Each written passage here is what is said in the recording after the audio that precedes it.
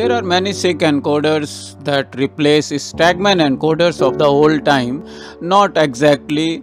In many cases, the preference is for replacement of one to one. So the one encoder you see here, it is AG626 configurable multi-turn absolute encoder.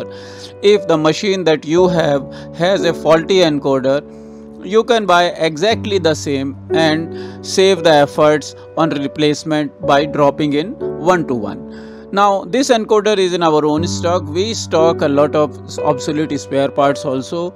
We buy up surplus stock from dealers. We buy surplus stock from the manufacturer themselves and stock it in our office because we do a lot of service work on CNC machines, PLC controlled automated machines and encoders being critical spare parts are of utmost importance to us.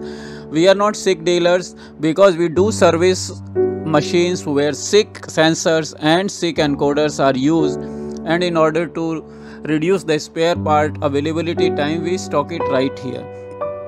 This is why we are preferred as third party maintenance service by many of our clients here.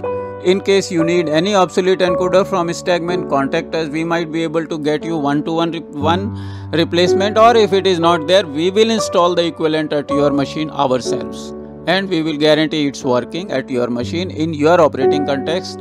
Contact our Delhi or Dubai office, we can talk